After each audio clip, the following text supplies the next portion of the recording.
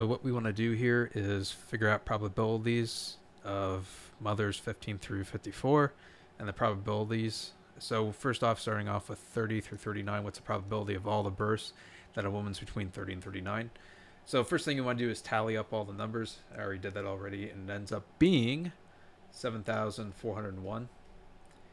So then what happens here for 30 through 39, we take the two numbers here, 1850 and 2824, or 2,824 plus 1850, all over 7,401. And when you simplify this and reduce it down to a decimal instead of a fraction, you'll end up when it rounds to three digits of uh, 0.632. And it's the same thing. Uh, determine the probability that a woman selected was not.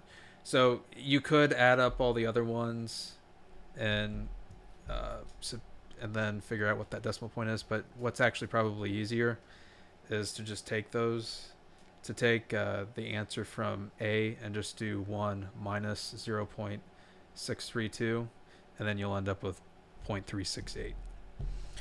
So determine the random, randomly, probability that a randomly selected woman, 15 through 54, is less than 45.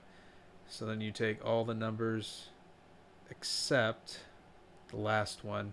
And actually, what might be easier is if you just did 1 minus 118 over 7,401, because that gives you all the other birth mothers as opposed to 40 through 45 through 54, and you'll end up with a 0.984.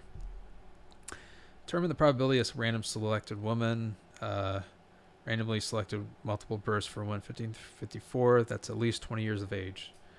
So same thing, kind of, except it's the other end. So it's 20 through 54. And to make it easier on you with arithmetic, you could just do 1 minus 91 over 7,401. That's how you end up with 0.988 or 98.8%.